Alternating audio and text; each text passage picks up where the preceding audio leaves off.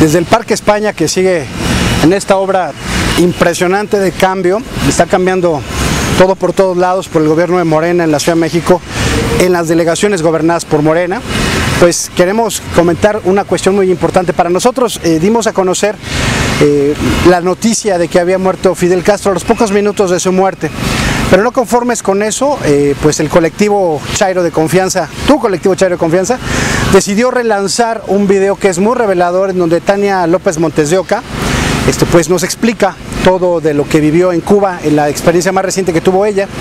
Y eh, un video, bueno, que vale mucho la pena, que ha ido hacia arriba y que te recomendamos que lo vayas a ver, porque miren, es muy importante estar hablando de Cuba desde un aspecto, pues ahora sí un poquito más, más moderno, porque cuando la gente se la pasa hablando de de Cuba en la crítica a Fidel Castro, pues bueno, pareciera que estuvieran hablando de 1965, 1967 y que bueno, pues solamente es la versión de los que están en Miami. A los de Miami, por cierto, todos los cubanos estos, pues eh, por ahí salió una noticia en que Trump decía, bueno, pues muerto Fidel Castro, ale a la isla de nuevo, ¿no? Pues yo creo que ya, ya, es hora que se regresen a la isla estos cubanos. A ver, a ver, porque decían que el problema era Castro, ¿no? Bueno, ya está muerto Fidel, tendrían que irse a chambear allá a ver si es cierto. Digo, quién sabe, porque pues como en Miami se lava tanto dinero del narco y de tantas cosas, quién sabe si les convenga esta bola de hocicones que están en Miami.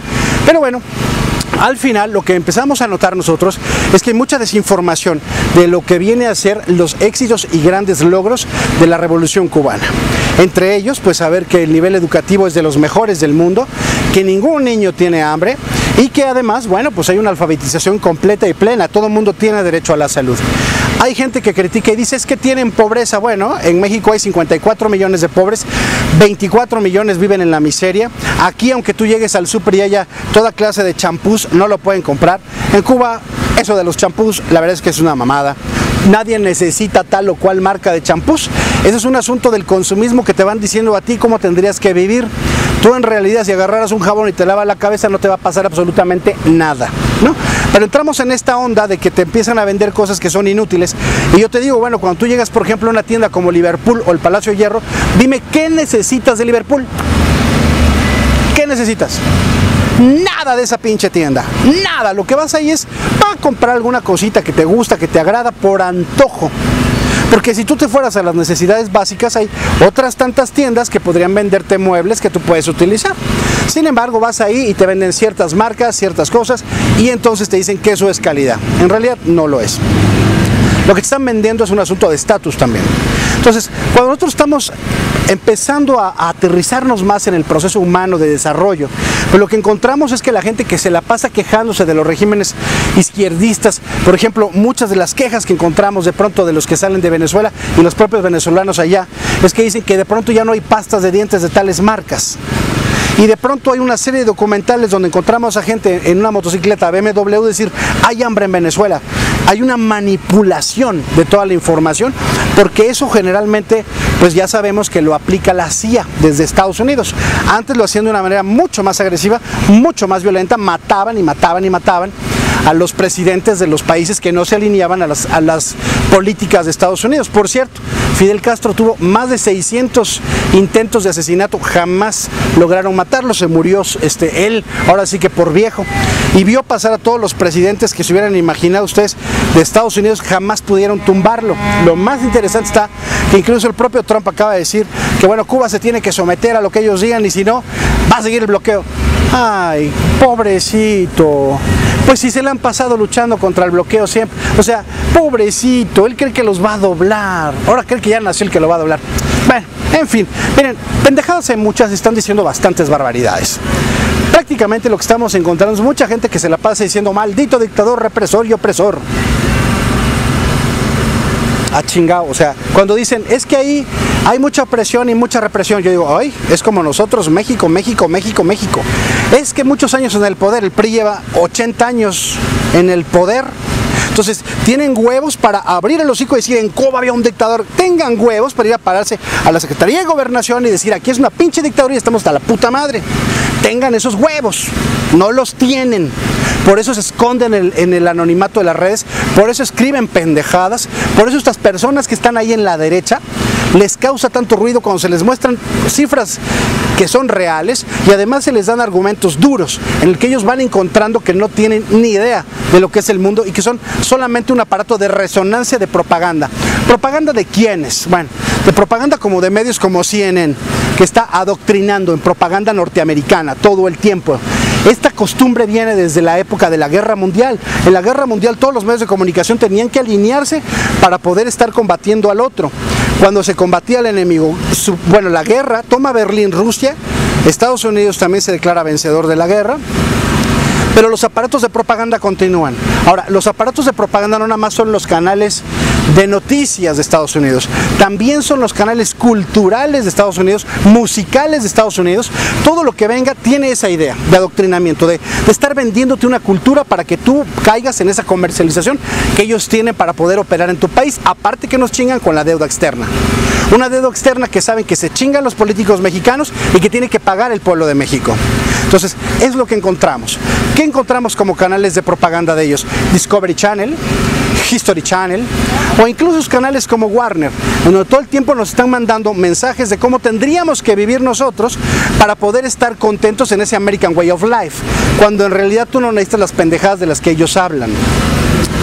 Esta, esta, manera de adoctrinamiento que hace el neoliberalismo, el pensamiento único contra todos los pueblos del mundo, es mucho más fuerte y agresivo que el adoctrinamiento que realizaba eh, que realizan por ejemplo los doctores de Cuba que salen a apoyar a las naciones cuando tienen un desastre es mucho menos agresivo porque además llevan un beneficio para la población. Acuérdense ustedes de todo lo que está pasando, por ejemplo, en esta lucha contra las cataratas, ¿no? contra la enfermedad de los ojos, que en Cuba les operan gratis a todos los que vayan de todo, de todo el mundo. Si tú llegas a Cuba, te van a operar gratis y no tienes que preocuparte de las cataratas. El asunto es llegar. Muchos países que tienen muy claro este asunto han apoyado para alquilar aviones y mandar a la gente a Cuba y regresan. En Estados Unidos a poco hay iniciativas de esas. Hay iniciativas para que la gente no pague por hacerse cataratas. Ni siquiera su pueblo tiene un seguro, un seguro para que puedan ir de manera gratuita. Allá digo gratuita porque nosotros tenemos un sistema de salud público que pagamos con impuestos y que se le descuenta a los trabajadores, pero todo el mundo lo puede tener. Entonces, ¿qué pasó en Cuba? En Cuba es completamente la salud para todos. En Estados Unidos no. Entonces, estas personas que se, que se las pasan hablando y hablando y hablando, tendrían que hacer una revisión primero para ver qué piedra van a lanzar, porque, pues bueno, el que esté libre de pecado que arroje la primera piedra, pero aquí yo entiendo que hay mucha gente que, por ejemplo, muchas de estas personas que están criticando eh, a Fidel Castro son muchas personas que se guardan silencio ante lo que pasó en Ayotzinapa. Cuando nosotros sabemos que Ayotzinapa es un tema medular central que muestra el poder de una dictadura. Y como dice Anabel Hernández, donde está inmiscuido el gobierno, el ejército, protegiendo al narco. Por eso no quieren que se sepa. Muy bien. Es lo que tenemos hoy día en México. Eso es lo que tenemos. Yo quiero que me digan qué es lo que está pasando en Cuba. Raúl Castro tuvo una rueda de prensa con el presidente Barack Obama, en donde una persona se paró y le dijo, es que ustedes tienen presos políticos. Y entonces Raúl Castro le ofrece a ese periodista, le dice, pásame la lista en este momento de estas personas para liberarlas esta noche. Dame la lista. ¿Y qué respondió el periodista? Nada.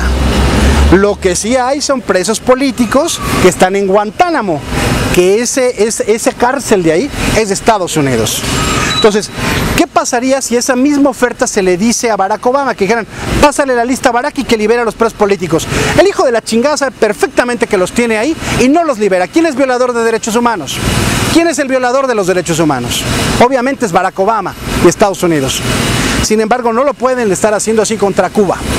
Lo que está ocurriendo en este momento con la muerte del comandante Fidel Castro es muy significativo esta revolución está teniendo alcances globales, porque se está difundiendo todo lo que logró esta revolución de un pueblo que ha resistido y se ha empeñado en ser independiente pese a que la nación más poderosa de la tierra le ha estado poniendo el pie y le tiene un bloqueo. Ese pueblo es un pueblo digno, que merece todo nuestro reconocimiento, todo nuestro afecto y toda nuestra solidaridad. Más allá de Fidel Castro, hay un chorro de gente ahí que sabe perfectamente bien que son libres, que son un pueblo que sí está construyendo vida y que son un pueblo que sí está construyendo una posibilidad de bienestar para todos. Que no tienen el aparato de consumismo que quisieran los norteamericanos tener, esa es otra cosa.